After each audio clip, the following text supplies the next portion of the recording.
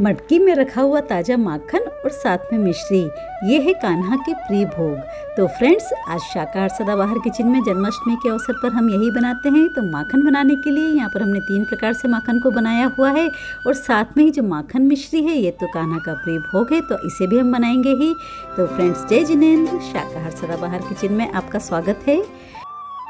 आज हम तीन प्रकार से माखन बनाएँगे तो एक इलेक्ट्रिक विस्कर से, दूसरा हैंडी विस्कर से और तीसरा हम बनाएँगे चम्मच से। तो यहाँ हमने तीन अलग अलग बाउल में जो मलाई है, उसको डिवाइड कर लिया है। ये फ्रिज में रखी हुई मलाई थी, इसको हमने थोड़ी देर पहले बाहर निकाल के रख लिया था।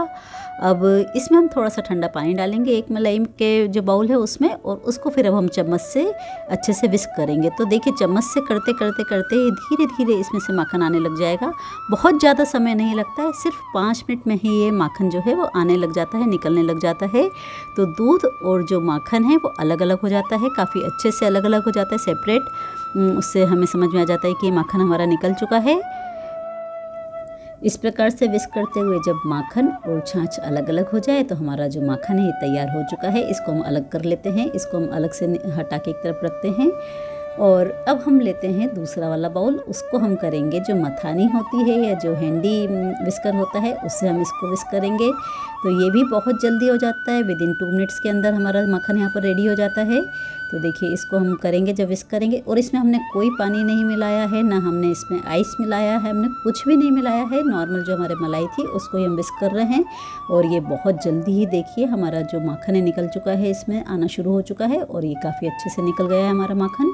तो अब इसको भी हम एक तरफ़ रख देते हैं। देखिए, माखन अलग हो गया है और छाछ अलग हो चुकी है। तो ये हमारा ये वाला माखन भी तैयार हो चुका है दूसरी मेथड से। अब जो हमारी तीसरी मेथड है इलेक्ट्रिक फिस्कर से उससे हम मक्खन बनाएँगे। तो इससे तो बहुत ही आसान है, क्योंकि आजकल हमारे पास समय तो रहता नहीं है, समय नहीं रहता है तो लोगों को फटाफट जो काम चाहिए तो ये इलेक्ट्रिक फिस्कर उसके लिए सबसे बढ़िया है। तो इससे हम जब मक्खन निकालेंगे तो विद इन वन मिनट हमारा जो मक्खन है, तैयार हो जाता है। और इसको हम बस इस प्रकार से थोड़ा सा विस्क करेंगे। और इसमें भी हमने ना तो ठंडा पानी डाला है, ना ही आइस डाली है। जो नॉर्मल मलाई रखी हुई नॉर्मल टेम्परेचर पर, उसको ही हमने विस्क किया है। तो ये हमारा जो माखन है, तैयार हो चुका है। ये भी एकदम फ्रेश और बहुत ही बढ़िया माखन हमारा तैयार हुआ है। तो फ्रेंड्स, यहाँ पर हमने तीनों प्रकार से जो माखन है, वो निकाल लिए हैं और अब हम जो इसमें से छाछ और जो माखन है, उसको अलग अलग सेपरेट कर लेंगे। तो एक बाउल में हम जो सारा जो माखन है, वो इकट्ठा कर लेते हैं और एक बाउल में हम दूध जो उसका छाछ बची हुई है, उसको निकाल के रख लेंगे। तो ये देखिए हमारा जो माखन है, आ चुका है, पर अभी जो हमने माखन निकाल के रखा हुआ है, इसमें अभी भी थोड़े से छाछ का अंश बचा हुआ है। तो उसको पूरी तरीके से छाछ से फ्री करने के लिए हम क्या करेंगे, थोड़े से इसमें चार से पाँच हम आइस क्यूब्स डालेंगे।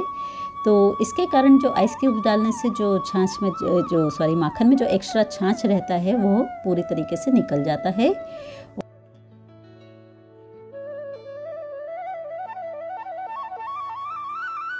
और ये देखिए, जो हमारा छाछ है और जो माखन है, पूरी तरीके से अलग हो चुके हैं और जो अब माखन है, इसको हम हाथों में लेकर हल्के हाथों से थोड़ा सा दबाएँगे और इस प्रकार से इसका गोला बना लेंगे। तो हमारा माखन तैयार है।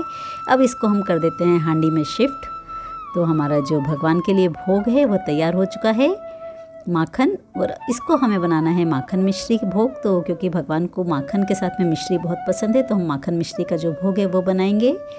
तो यहाँ पर हमने ली है थोड़ी सी धागे वाली मिश्री। इसको हमने जो मिक्सी में थोड़ा पीस लिया है, इसको पाउडर फॉर्म में चेंज कर लिया है और हमने एक बाउल में ले लिया है थोड़ा सा माखन। और इस माखन में हम डालेंगे एक से दो चम्मच मिश्री और इसको अच्छी तरीके से हम मिला लेंगे। तो चम्मच से ही मिला लेते हैं। तो पाउडर फॉर्म में तो ज़्यादा इसको ज़रूरत नहीं है मिक्स करने की। दो से तीन बार हम इस प्रकार से मिक्स करेंगे तो जो हमारा माखन मिश्री अच्छे से मिक्स हो जाएगा।